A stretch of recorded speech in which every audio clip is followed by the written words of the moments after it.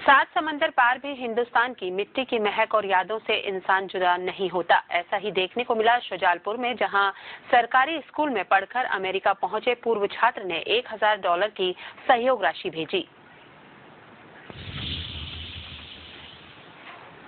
वर्ष 1945 में पंजाब से सुजालपुर आए। सुजान सिंह छावड़ा वर्तमान में अमेरिका की मियामी सिटी के जाने माने ऑडिटर हैं। इन्होंने शुजालपुर के एक्सीलेंस स्कूल में पढ़कर हाई स्कूल की शिक्षा ग्रहण की। आज बहत्तर साल के बुज़ुर्ग हो चुके सुजान सिंह छाबड़ा ने अपनी शिक्षा स्थली पर हॉल निर्माण के लिए एक हज़ार डॉलर का चेक स्कूल के प्राचार्य के नाम भेजा। सुजान सिंह जी से मुलाकात हुई और उन्होंने कहा कि मैं इस संस्था से अध्ययन करके बाहर गया हूँ और इसी के कारण मैं इतना बड़ा आदमी बना हूँ तो मैं यहाँ के लिए कुछ खर्च करना चाहता हूँ। तो मैंने उनको हाल बताया कि भाई साहब, आप ये है इसकी मरम्मत करवा दीजिए ताकि हमारे कार्यक्रम सांस्कृतिक होते रहेंगे। तो उन्होंने कहा कि जो भी इसमें राशि रहेगी, वो सब मैं भेजूँगा वहाँ से और आप इसका एस्टिमेट हमें ईमेल कर दीजिए। मैंने ईमेल भी किया और मुझे बड़ी खुशी हुई, जैसे आज चेक का बताया कि चेक प्राप्त हुआ है।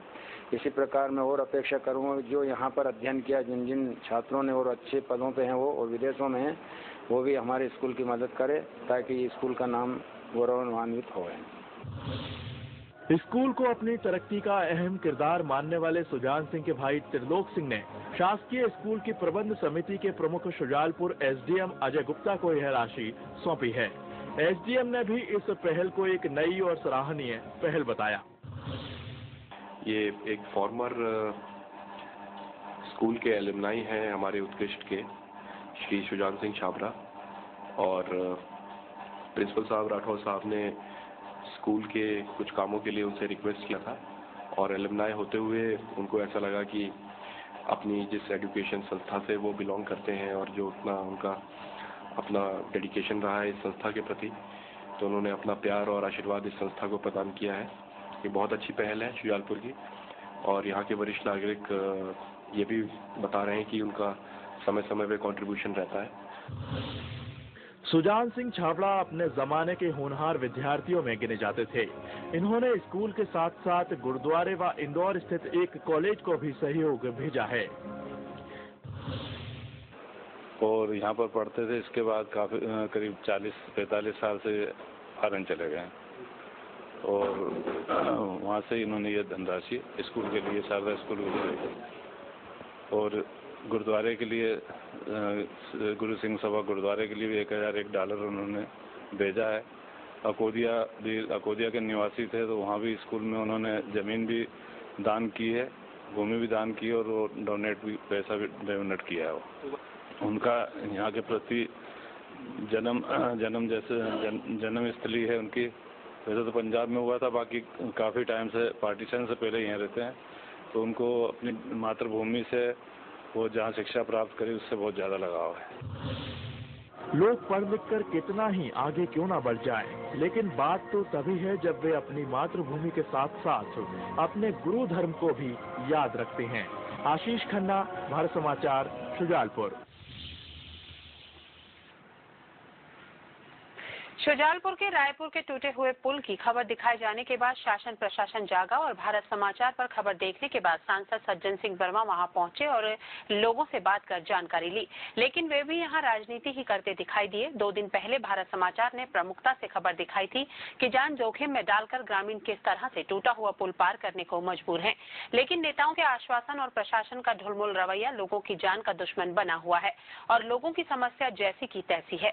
दरअसल नेवज नदी के किनारे बसे ग्राम रायपुर का पुल 20 से अधिक गाँवों की आबादी को शहरी इलाके से जोड़ता है। इस पुल के बारिश में डहने के बाद सभी विभागों ने इसके निर्माण या मरम्मत से हाथ खड़े कर लिए थे। खबर के बाद इस मामले को विधायक जसवंत सिंह हाडा ने मुख्यमंत्री शिवराज सिंह के सामने उठाया। वहीं सांसद सज्जन सिंह वर्मा भी ग्रामीणों से मिलने रायपुर पहुँचे। कुल मिलाकर नेता इस मामले पर केवल आश्वासन देकर राजनीति करने में जुटे हैं। जान जोखिम में आज से नहीं डाल रहे हैं यहाँ के लोग।